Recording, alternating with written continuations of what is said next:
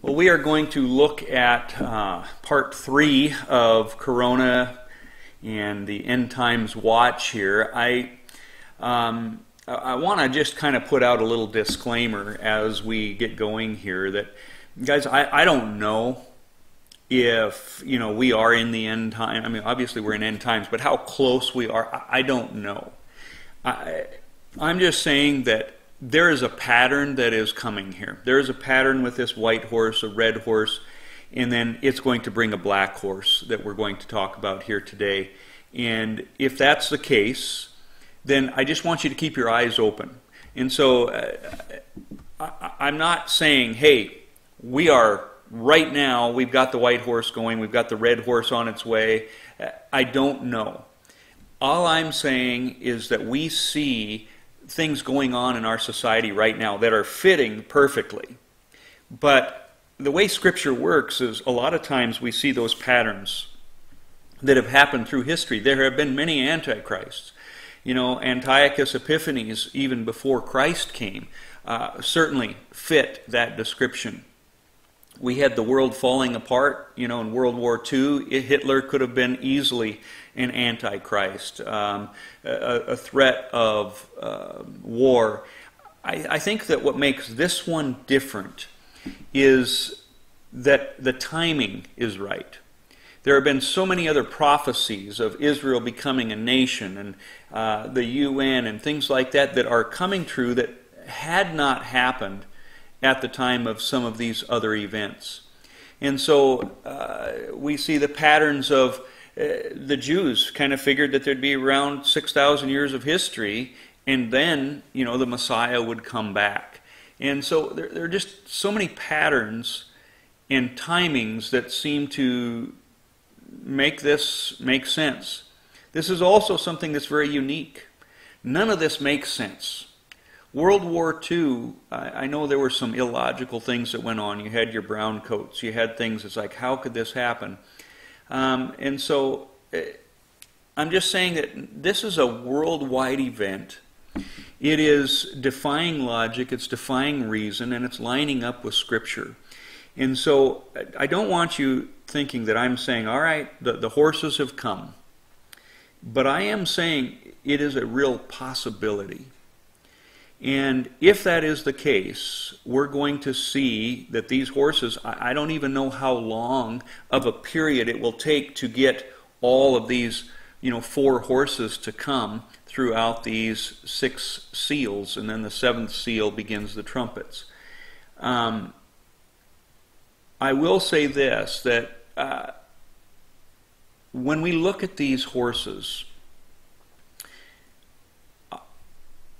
they, as I've talked about before, will build on one another. And so while we are in the black horse, that white horse has not gone away. It's still out, it's still released.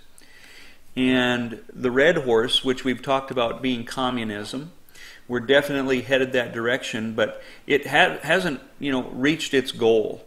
And so we have not finished that. But that red horse will indeed bring communism will bring what we're going to see here in this black horse. So let's begin, and uh, I'll probably give another disclaimer as we get on because I'm just going to theorize a little bit here today, and just to have people have a watchful eye. That's it. That's what I want you to do. To, to do your own study, to do your own research. But 1 Peter 4 7 says this The end of all things is at hand. Therefore, be serious and watchful in your prayers. Now, keep in mind, this was written 2,000 years ago. But at the same time, this is the attitude that we are to have. We are to be watchful in our prayers, we are to be serious. And at the very least, I'm hoping that these messages are shaking you a little bit and waking you up because urgency is a good thing for, for a, a human spirit. It keeps you focused on the Word and less focused on this world so, you know, not so worried about the next concert that's coming up, the next rodeo, the next, uh, you know, sale, whatever the case might be that is distracting you from being focused on the reason we are here on this earth. And we also read here in 1 Thessalonians 5 1, but concerning the times and seasons, brethren, you have no need that I should write to you. For you yourselves know perfectly that the day of the Lord so comes as a thief in the night. Now, I know I've heard that quoted so many times, we've talked about it before, but just again, people always stop there. But verse 3 goes on, and it says, For when they say peace and safety, then sudden destruction comes upon them as labor pains upon a pregnant woman, and they shall not escape. And so, peace and safety. I would say, you know, everybody thinks America, they can't fall. Uh, we, we're, we're the most powerful. There's no way that America can fall. Well, there are times and there are seasons. He says, I don't need to write to you. You know perfectly that the day, the final end, is going to come like a thief in the night. And we think, oh, okay, so we don't know when it's going to happen. But as we continue, the very next verse, verse 4, look what it says. But you, brethren, you, brothers, you, Christians, you who read your Bible, you are not in darkness so that this day should overtake you as a thief. In other words, God has given us wisdom to understand that we are going to be able to understand the season that this is coming. He says, I don't need to write to you because you guys aren't in darkness. I don't need to tell you because the Word is going to be your guide. And this is exactly what I'm seeing, guys. I'm seeing that those who are in the Word, those who study their Scriptures, those who have a relationship with Jesus are saying, something's going on. He says, You are all sons of light and sons of the day. We are not of the night, nor of darkness. Therefore, let us not sleep as others do, but let us watch and be sober. This is a call to the church to wake up, and that's what this message is supposed to do. It is supposed to keep you on your toes because you, brethren, are not to be in darkness. It is not to surprise you. And uh, honestly, this is not surprising what we're seeing based on what Scripture says. And so he's not coming like a thief in the night to the believers. But yet I see many in the church who are sleeping. Maybe, maybe they've been going to church for the wrong reasons. Maybe, maybe they've been there for fire insurance or for social purposes, but they go to church on Sunday and then the rest of the six days of the week, they hardly think about God. Oh, they might pray here and there, but really they're worldly. They're not doing what God has asked them to do. They're not obeying God. They're not, uh, you know, you probably couldn't pick them out of a lineup saying, hey, there's a Christian and there's not when they're at work. Because there's no difference between the world and the Christian today. That's wrong. And it shouldn't be that way. Revelation 6 5, we're going to kind of start here and you're going to see the black horse come. It says, When he opened the third seal, I heard the third living creature say, Come and see. So I looked, and behold, a black horse, and he who sat on it had a pair of scales in his hand. Like I said, if this is the right interpretation, that the white horse may have been released, the red horse we certainly see on the horizon. We see our country moving towards that direction, defunding the police, um, that's what's going to have to happen to bring in more of a, a, United Nations world government. Then, with that, is going to come this black horse, because as I said, they build on one another. Well, we see this pair of scales in his hand. Biblically speaking, what we see scales is it was always uh, a measure of weighing, not you know, how much does your gold weigh? Now, sometimes, excuse me, sometimes it's used that way, but ultimately, we see it used in Daniel um, when he had the dream, when the hand appeared on the wall and had that handwriting. Nobody could read it. Well, it basically meant, you know, to be weighed, to be measured, and to be judged. And this is the kind of thing that we're seeing here: is that there is um, a weighing of not judgment, but in a sense it is judgment on God, or from God, I should say, but rather it is uh, a scale of weighing goods, selling, trading. And so, in the context that we see it here, as you're going to see as we continue in these verses, it isn't about judgment like we see in Daniel, even though there may be judgment taking place because of this black horse. The picture that is seen is in trading and selling, and that is the where uh, we, we see uh, the scales used throughout Scripture many times. And so, it's dealing with the economy. Now, again, as I said, the next verses are going to show that. Let me continue, verse 6. And I heard a voice in the midst of the, uh, of the four living creatures saying, A quart of wheat for a denarius and three quarts of barley for a denarius, and do not harm the oil and the wine. So, what is a denarius? Well, the Bible tells us that a denarius is a day's wage. So, in other words, all you're getting for a full day's wage is a quart of wheat. That seems to be saying hyperinflation scholars that basically say what a day's wage was back then to compare to what a day's wage is today means that if a loaf of bread today costs about $3, at this um, change, you could look to be paying from 36 to $48 for a loaf of bread. That's the cheap stuff. If you get the $5 bread, 60 to $80 for a loaf of bread. Now, again, this might seem, how in the world could that happen? Well, that's what hyperinflation does. We've seen this throughout history as well, where people would, uh, you know, in World War II, they, they would go and cash their check the moment they got it because they knew that tomorrow morning the price was going to be so much higher than it is right now. You just couldn't keep up with it. And this is what it's saying is that our food, the necessities, are going to cost a tremendous amount of money. Can we see that happening logically? Yeah, I, I could see that happening with the, the direction the country is going right now. Let me just show you some headlines that kind of make it, to me, seem quite possible. Here's Rand Paul blasts imaginary money handouts, wants of economic, it should be warns of economic calamity. Okay, so yeah, these handouts that have been gummed, the, the money that the government has been printing, if history is a, a, a teacher at all, we see that when countries do that, it does create hyperinflation. Here's another headline Hawaii grapples with Great Depression, level unemployment as tourism plummets. Or here's another one, uh, or I should say, in that, that same article, it says the unemployment rate in uh, Kahului, I'm, I'm sure I'm slaughtering that, the skyrocketed to 35% in April, nearly 10% higher than the national unemployment rate at the peak of the Great Depression. So the unemployment is 10% higher than it ever was during the time of the Great Depression. ABC News. Here's another headline The Washington Sentinel.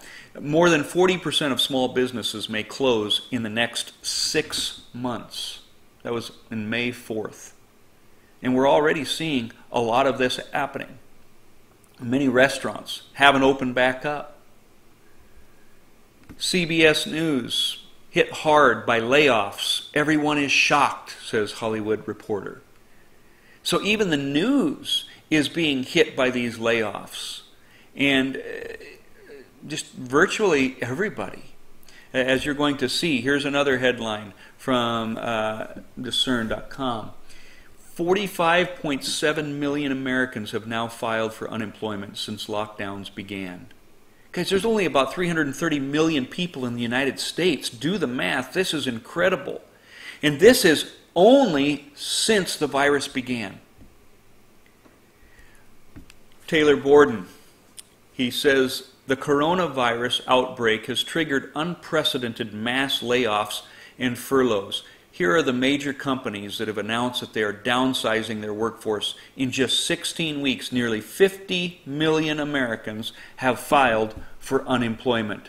That's more than the number of claims filed during the Great Recession. On July 9th, Bloomberg Law reported that Wells Fargo is preparing to cut thousands of jobs out of its 263,000 person workforce.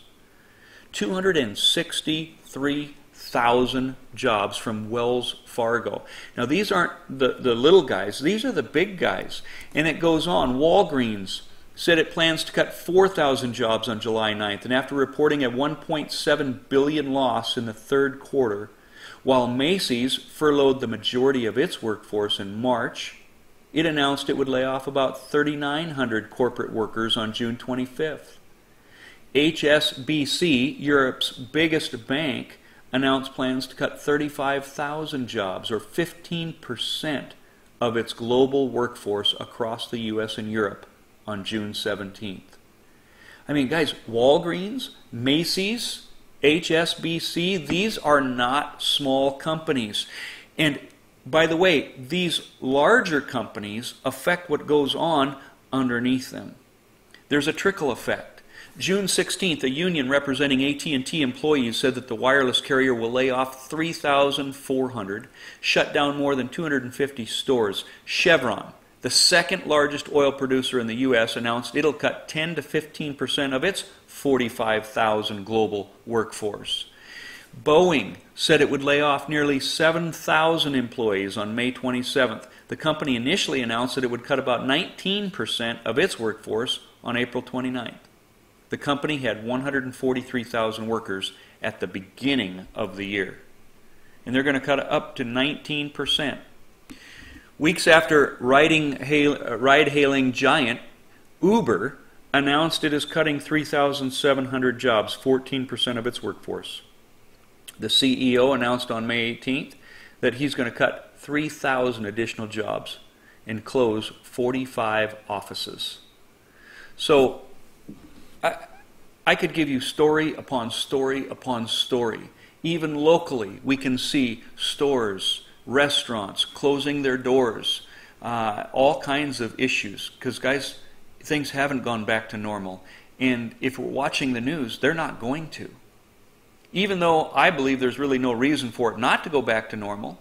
I mean, go look at the statistics. The flu kills more people. And yet, we are more concerned and we're destroying the economy because of this. It makes no sense, which to me is one of those things that makes me say maybe these are the horses that are being released. Um, Fox Business basically, researchers say coronavirus lockdown cost U.S. economy one trillion without saving many lives. So we even see that the statistics, as I said, are not, you know, uh, warranting what we are seeing going on out there. Something is not right. I think more and more people are beginning to realize that. I just don't see many of them tying this into the Bible and saying maybe it's time for judgment to begin. Maybe God is doing that. And I hear people saying, well, you know, no, God's going to bless America. Well, I, am going to come back to that later, but the bottom line is, is why would he?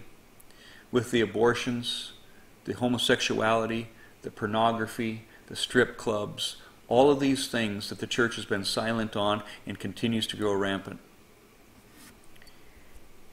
Here's another headline from the Federalist 100,000 businesses have permanently collapsed under the pandemic. 100,000 businesses. 30% of Americans didn't make their housing payment in June, says this headline in the article, job losses remain at a catastrophic level that is unlike anything that we have ever seen before in all of U.S. history. 30% of the people did not make their housing payments. Think about that. That's the kind of situation that we're in right now. Here's Dennis Prager.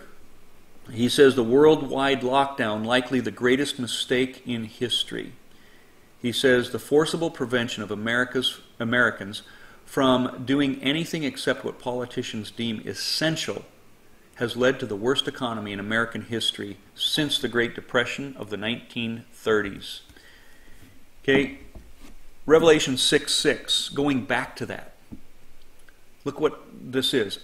I heard a voice in the midst of the four living creatures saying, A quart of wheat for a denarius, three quarts of barley for a denarius, and don't harm the oil and the wine as I get back to these verses and all these articles that I have just read to you, I don't know how you can't see that from a trillion dollar stimulus, not a billion, trillion dollar stimulus package, that we can't see the handwriting on the wall, that these headlines aren't skewed.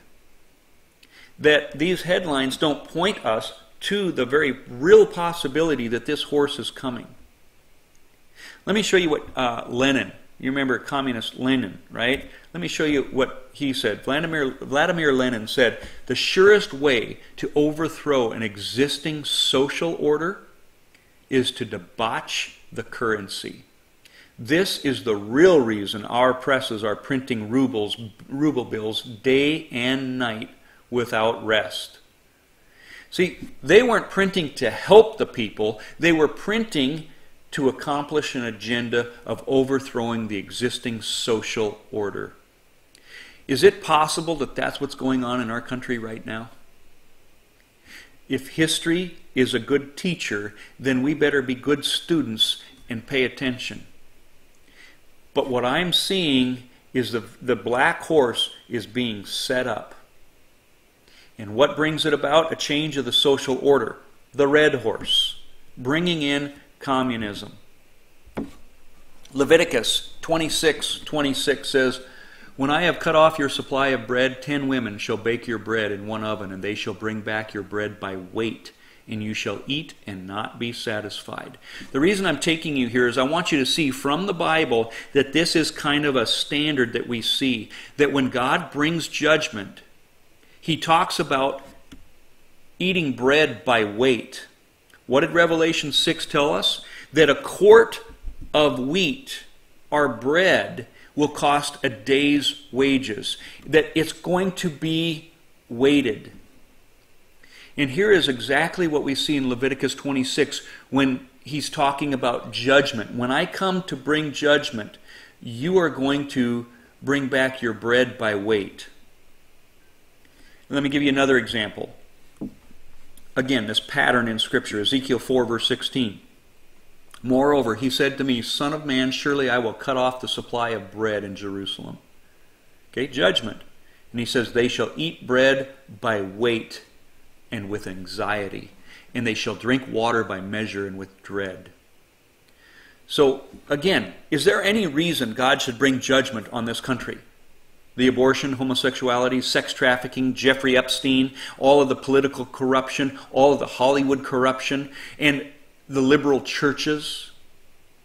And by the way, most of the people in the churches supporting what Hollywood does, watching those rated R filthy shows. Okay?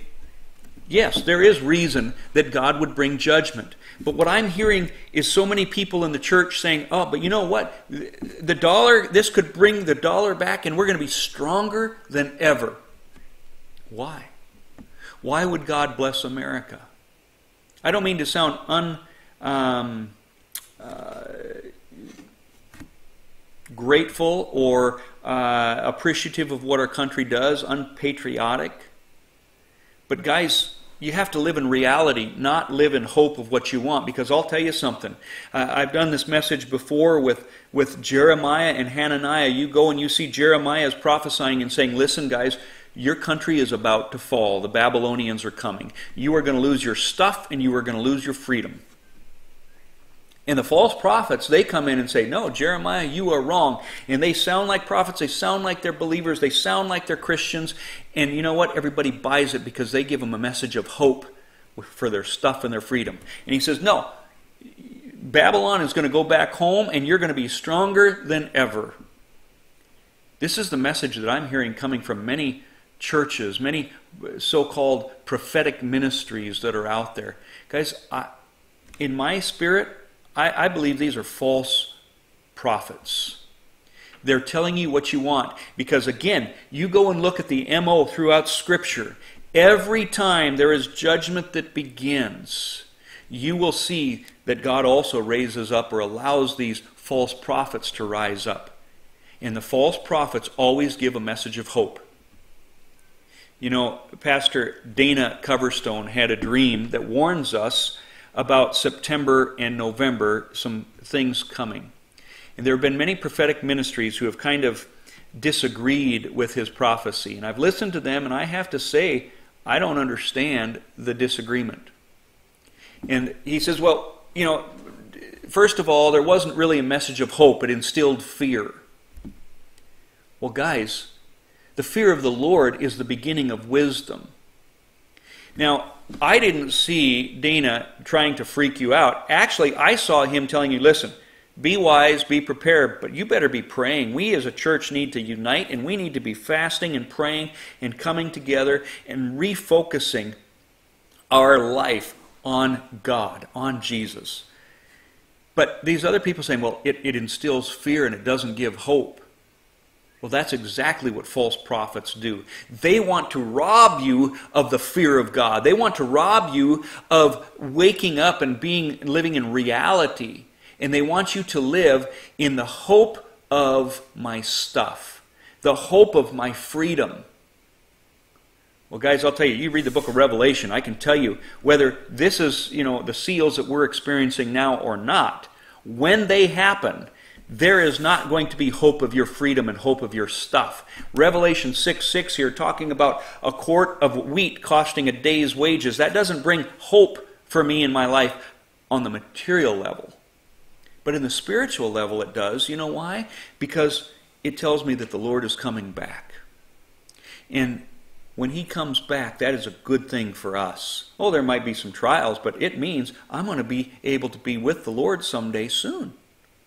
That's hope. I also know that God is going to be there for me. Even if I'm being stoned to death, He's going to be there for me, giving me peace and joy and hope. I see that example all throughout not only history, but Scripture. Stephen, while he was being stoned, he saw heaven opened. He had peace as he was dying. We can see uh, so many godly men of the past, if you look at the martyrs that had peace, uh, the name's escaping me, but that 86 year old man who was being burned at the stake, and he says, You know, 80 and six years I've served my Lord. I'm not about to turn my back on him now. Light the flames. That's the hope. That's the joy. That's the, the foundation we stand on. And so, I'll be honest, I'm not going to be listening to these prophetic people who are trying to give us a physical hope, a material hope. I'm going to listen to those who point us to Jesus and say, though the Babylonians are coming, God is going to be with you. Now, get on your knees and pray and seek him while he may be found, because when the flood waters rise, you won't find him. By the way, that's a paraphrase of Scripture. Going back here one more time to Revelation 6 6, quart of wheat for a denarius, three quarts of barley for a denarius. We're seeing that this is what is supposed to happen. You know, historically, God says this is going to happen. That's what I mean by that. So if we see this happening, if we see hyperinflation take place, it's not the first time throughout history it has happened. But I would hope that it's going to make you listen because God is trying to tell you something. You see, wheat and barley back then, these are staple foods.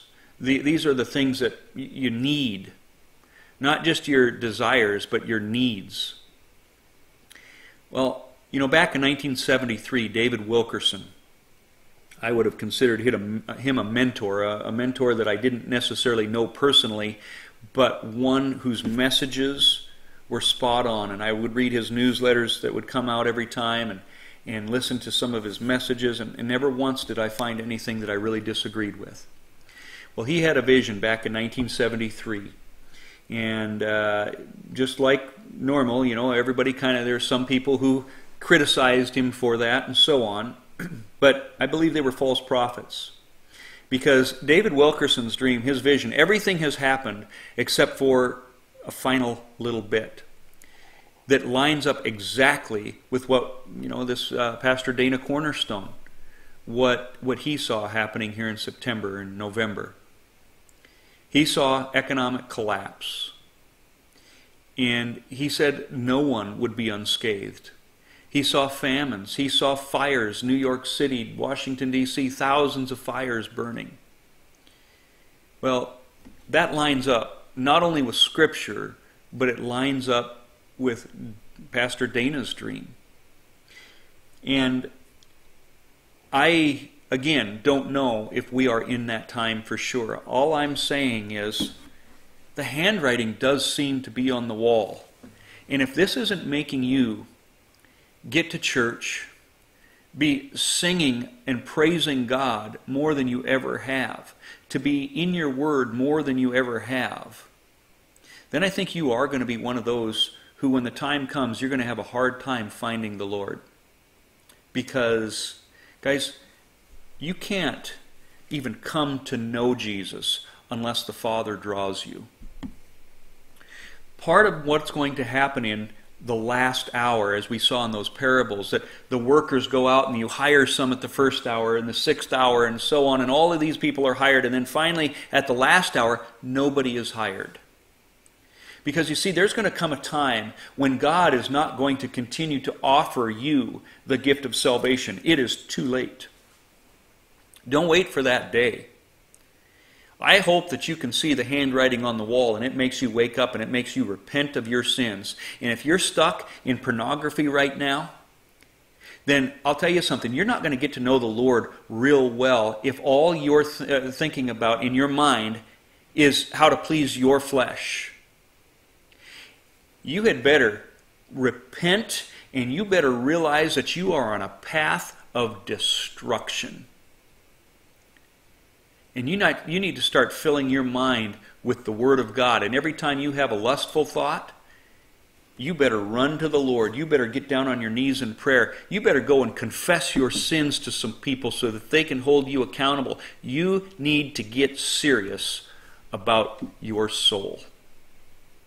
I want to show you, going back to some headlines here, Tyson Foods, the Daily Caller News Foundation by Chris White says Tyson Foods rolled out a full page advertisement Sunday in the Washington Post and the New York Times warning that the country's food supply chain is breaking amid continued lockdowns aimed at slowing down the coronavirus pandemic. Okay, again, slowing down what? The flu. Okay, again, I'm not saying there isn't a virus, and I'm not saying that people will die, just like there is a flu virus, just like people will die because of it. But look what's happening because of it. Okay, uh, the food chain, the food supply chain is breaking. It continues, and it says one of the thousands, or I'm sorry, Dennis Prager here one of the thousands of unpaid garment workers protesting the lockdown in Bangladesh understands the situation better than almost any health official in the world. We're starving. If we don't have food in our stomach, what's the use of observing this lockdown? But concern for the Bangladeshi worker among the world's elites seems non existent. He continues According to the WFP director, David Beasley, on April 21st, we could be looking at a famine in about three dozen countries. There's also a real danger that more people could potentially die from the economic impact of COVID 19 than from the virus itself. The lockdown is possibly even more catastrophic than the virus in its outcome. The collapse of global food supply systems and widespread human starvation. Dennis Prager. News at yahoo.com rotting food, hungry masses, chaotic su- supply chains, coronavirus upends the U.S. food system. In less time it takes a farmer to plant and harvest a head of lettuce, the nation's entire food industry has been flipped on its head by the COVID 19 pandemic. An intricate system for matching supply with demand, established over decades, has been thrown out of whack just as unemployment and food insecurity are skyrocketing among families. Guys, how in the world can you not see what's going on? That the supply chain, something that's taken decades to, to, to build up, has been destroyed in just a matter of a few weeks. And it's going to bring what? Starvation, famines. That's what these people are writing. That's what they're predicting. And this is exactly what Scripture says is supposed to happen with the black horse, the third seal. And the coin shortage that's been going on. You know, Pastor Dana basically predicted that. Now, there were some things that could indicate that it was coming even before he, he said that. But again, then that's assuming that he's lying and he's making this stuff up. He'd be insane to make this up, to be so specific, especially about times, because then in a matter of two, three months, the guy is nobody's going to listen to him. You see, I, I believe this coin shortage, okay, this is just my opinion based on some things that I know. I know somebody who has a friend who works for the Federal Reserve. And they told me that they were said they said we are told to let everybody know that everything's fine. There's nothing to worry about, but they're not minting new coins.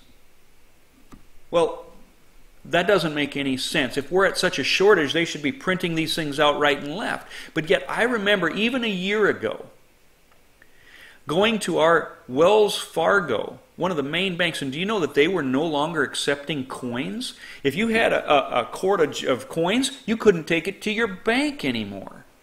Why? I don't know. I kind of think that there's something going on that the government knows about not to sound all conspiratorial, but that they know about, but yet we are just being lemon, lemmings and going along with what they say. I think there's a reason for this, this coin shortage, and that is they know that hyperinflation is going to come because things are going to fall. Now, I'm going to show you here, just again, this food thing. Farmers, do you know the share of food in dollars during the pandemic. Look what's happened. Back in January, a gallon of milk cost $3.25. In April, $3.21. Now, back in January when it was 325, a farmer got a $1.51 out of that. That means 46% went to the farmer. In April, even though it had gone down 4 cents, the farmer's price was a dollar four or just 32%. So they're sharing the brunt, or not, I shouldn't say sharing, they're taking the brunt. The same thing we could look at things like bacon. In January, they got 15%. In June, 11%, even though the price went up, you know, over 25 cents. A steak.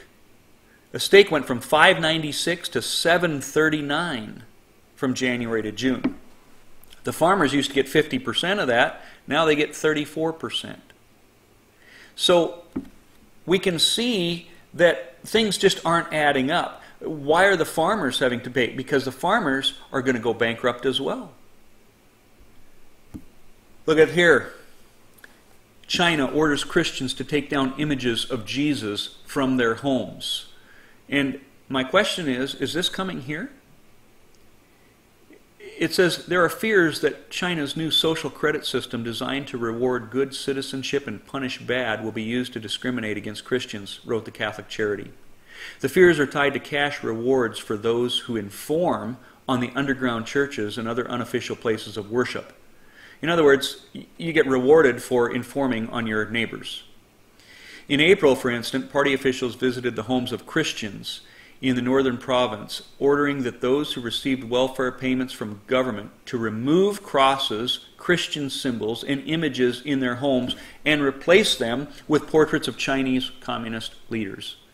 The officials threatened the Christians that noncompliance with the order would result in suspension of their welfare subsidies. Guys, unless you wear a mask, unless you get a vaccine, unless you support the new Marxist ideology supported by Black Lives Matters, if that's a surprise, go watch part two, then you're not going to get help. I can easily see, hey, if you don't have this mandatory vaccine and prove you have it, you're not welcome in our store. You can't buy. You can't rely on the government. You see, we have to rely on God because governments always have been corrupt. There's always been corruption in government. Even when ours began, there was corruption. That's just the way it is. Don't be surprised if someday, guys, you're going to say, no, you can't display that cross in your home. Because if you do, you're not getting this money that you know this welfare, this this government handout that you need to survive. I want to show you here this uh, little clip here from Face the Nation. Watch this. Among the many disturbing pictures that we've become accustomed to seeing since the pandemic started are those of people seeking help feeding their families. The lines at food banks have been shocking. The numbers are too. In April, more than one in five U.S. households reported not having sufficient resources to buy food. That number increased to two in five households, 41%, for mothers with children 12 and under. We go now to Dallas and Claire Babineaux Fontenot. She is the CEO of Feeding America, the nation's largest hunger relief organization. Good morning to you. Good morning. We've heard the statistics in terms of who is most vulnerable and how hard they are getting hit. We also know that food prices had their biggest spike uh, in decades just last month. This seems like the perfect storm. Uh, what are you seeing at your facilities right now? Who is coming and what do they need? Well, Margaret, I think you used the right term. It is, in fact, the perfect storm. We're seeing a marked increase in demand um, to the tune of, on average, 60% more people showing up in need of our services. Um, and at the, at the time that we're having that increase in demand, we have a decrease in donations, we have an increase in cost of food, and we have a decrease in volunteers. So it is, in fact, a perfect storm. How so many of the people who are coming? Oh, I'm so sorry. Yes, no, please. So how are you managing that? And and is is the person that you are serving now, as challenging as it is, different from what you saw just a few months ago? Is it a different demographic? Yeah, that's exactly what I was going to say. That 40% on average of the people that we're seeing now um, have never relied upon the charitable food system before now. So we're definitely seeing different people showing up.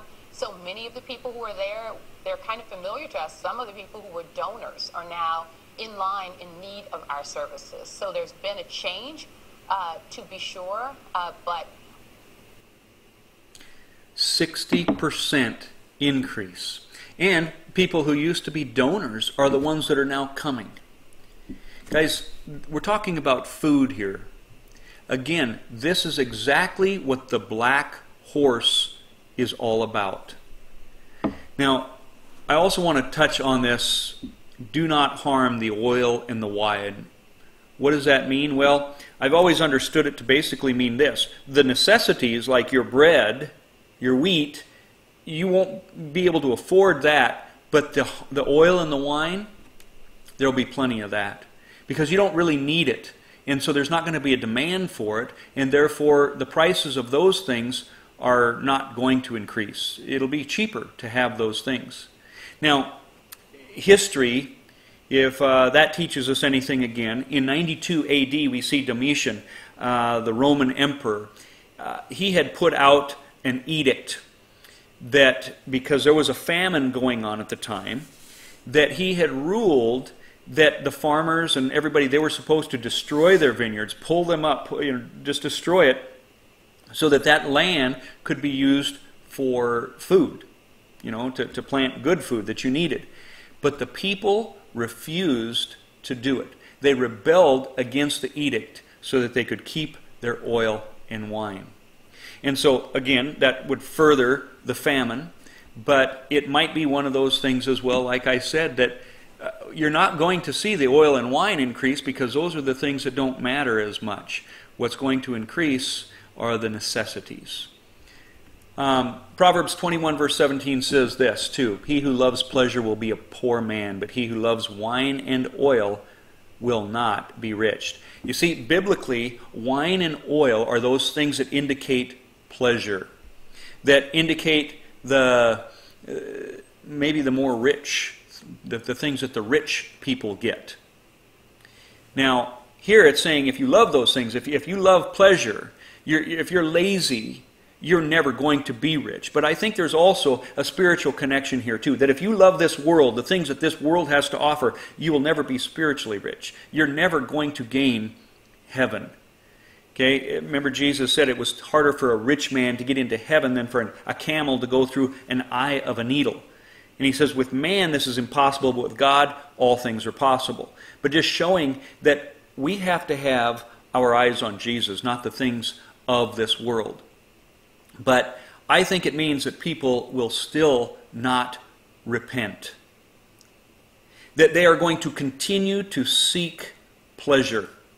They're going to continue to seek their oil and wine. Don't touch my oil and wine. I am fine rather than humble themselves and repent. And guys, this is exactly what I'm seeing happening in our world right now. I'm seeing so many Christians, when we talk about the possibility of these seals coming, that maybe we are in them, they're like, I, I don't want to hear about that. We want to just put on our blinders, we want to live our life the way we always have, and we want to ignore the reality that's right in front of us so that we can go drink our wine and oil that we can ex- experience the pleasures of this life. That if I pretend it's not happening, maybe it won't happen.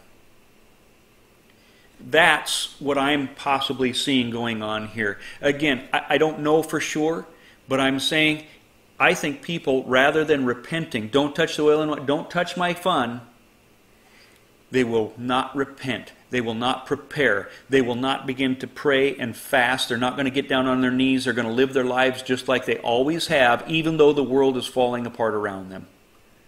Even though bread is going to cost, you know, $50, they're going to be saying, oh, but I'm still going to live the, my life the way I'm going to pretend. I'm going to give myself the pleasures I deserve. Psalm 116, verse 12 says, What shall I render to the Lord for all his benefits towards me? In other words, what should I do to repay the Lord for what he's done for me? Verse 13, I will take up the cup of salvation and call upon the name of the Lord. I will pay my vows to the Lord now in the presence of all his people. Precious in the sight of the Lord is the death of his saints. You see, rather than seeking the pleasures of this life, I think you should really meditate upon this. What should you do because Jesus has died on the cross for you? You should take up the cup of salvation. You should be calling on the name of the Lord and paying your vows to the Lord. What's that mean? Obey Him. You obey Him in the presence of all the people. I don't think it's an accident that it seems to just all of a sudden switch gears, and verse 15 seems like it doesn't even belong in this. Okay, what shall I do to repay God for everything He's done for me? Well, I should, you know, lift up the cup of salvation. I should be loving the Lord. And then, precious in the sight of the Lord is the death of His saints. Because what I think this is talking about is this.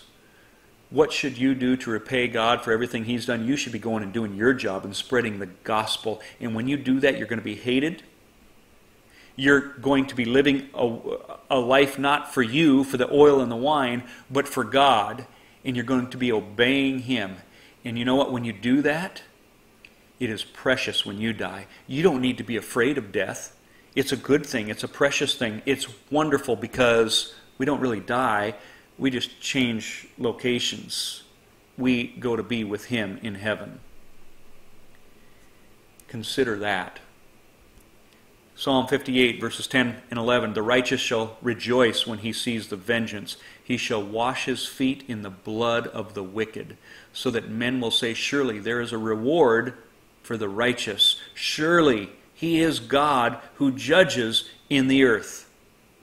See, guys, we need to recognize God is in charge. Wickedness is going on and always will go on in not only this country, but every country. But I'll tell you something that wickedness will be avenged. The righteous shall rejoice when he sees the vengeance of God.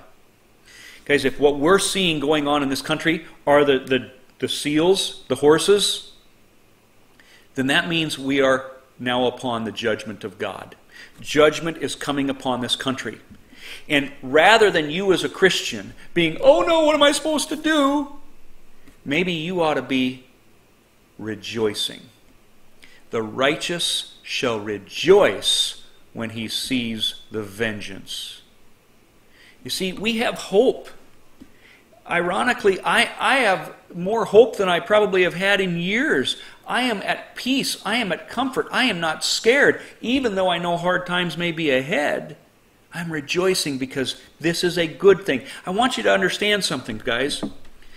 Justice is a good thing if you're on the right side of the law. Okay, if somebody has wronged you, it is a good thing to go before the judge because that judge is going to rule in your favor. And this is why we as Christians, those who are walking with God, can stand rejoicing and in peace and in hope. Because, guys, when I stand before my judge, because of Yeshua Jesus, I have nothing to be afraid of. I have nothing to worry about because that judge is going to rule in my favor because of Jesus. If you don't know Jesus, though, yeah, you better be scared and you better be preparing your heart because I'm telling you, it is possible that last hour is about to come and it'll be too late you will not be able to repent of your sins anymore. And by the way, that is exactly what we see in the book of Revelation. They cannot, even though all the terrible things are happening on this earth, it says, and still they refused to repent. Are you going to be one of those that's so focused on this world, so focused on the wine and the oil, that you're going to be one of those that when judged, you will be found wanting? Psalm 50, verse 3 Our God shall come and shall not keep silent. A fire shall devour before him. Maybe we're there. Maybe that's what's coming. And it shall be very tempestuous all around him. It's going to be terrible. The world's falling apart. Verse 4 He shall call to the heavens from above and to the earth that he may judge his people. Gather my saints together to me, those who have made a covenant with me by sacrifice by sacrifice. Okay, I think ultimately this means that they made a covenant with God by the sacrifice of Jesus Christ. But I also think there's the meaning of this that when you believe on Jesus Christ, that means that you live your life sacrificially. You don't leave, live it for you and to try and, you know, the man who dies with the most toys wins. No, they lose. Verse 6 Let the heavens declare his righteousness, for God himself is judge. Guys, God is coming to, uh, to judge with fire, to avenge those who have not only re- rejected him, but who have gone after his own. And his wrath is going to be on the ungodly, not me, not the believers, not the saints. He says, Gather my saints together to me. So he's coming with fire. There will be judgment, but guess what? For us who are believers, for us who are following after God, we have hope. We have joy. We should be rejoicing. We should be praying, Come, Lord Jesus, come. You know, if you listen to my Hebrew study, you'll see not many weeks ago we talked about, uh, maybe in part 14, 15, 16, somewhere there, do not pray for these people. When the Babylonians were coming, and Jeremiah was prophesying truth, saying, Hey, you're going to lose your stuff and you're going to lose your freedom. And the false prophets are saying, No, everything's going to be fine. Your dollar is going to be better than it ever was before. What happens? Well, we see that God tells Jeremiah, do not pray for these people. You can pray for them to repent, but don't pray for their good. Don't pray for them to be blessed anymore. Maybe we're here in this country at that point. That the church is so filled with compromise, a tainted gospel, a gospel that's not even a gospel anymore, that maybe we shouldn't be praying for them to be blessed, but that God would come so that we could rejoice and that He would gather us to be with Him. Well, guys, uh, I decided to, to make this a, a part two, uh, which I, I, should say really a part four, um, because it, it, was just too long. And so I'm going to make this a part three and a part four. And so I kind of stopped. I'm going to stop this one here and um, basically let you pick up watching the next part to kind of put these things together at that point.